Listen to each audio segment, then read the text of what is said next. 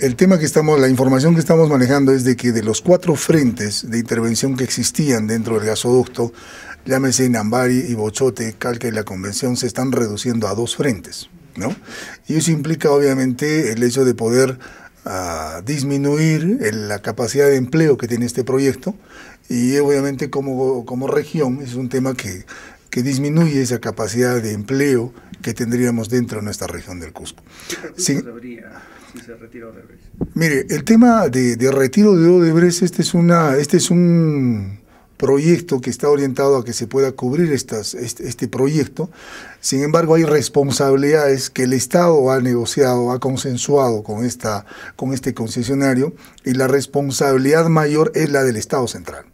Nosotros como gobierno regional estamos solicitando el respectivo informe tanto a, este actor Odebrecht como también al ministerio correspondiente del sector. ¿no? Entonces, en esa intención, la información que estamos manejando, al igual que, la, que es la que ustedes están manejando, es que de cuatro frentes de intervención del, del gasoducto disminuyen a dos.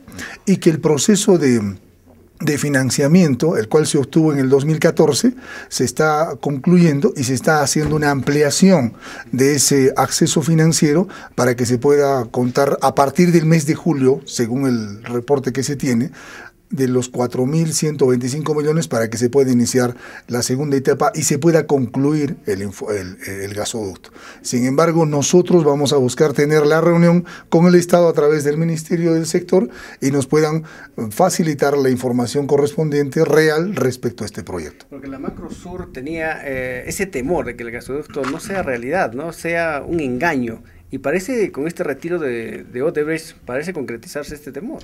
Nosotros exigimos al Estado mayor seriedad en este tipo de, aspectos. Queremos ser frontales en este aspecto, queremos ser eh, hasta cierto punto eh, manifestar que este tipo de cosas no pueden darse de esta forma y en esa condición exigimos al Ministerio del Sector que nos remita los informes respectivos a fin de que nosotros podamos asumir acciones que no perjudiquen el desarrollo de nuestra región. ¿Los cronogramas se mueven, eh, don Eduardo?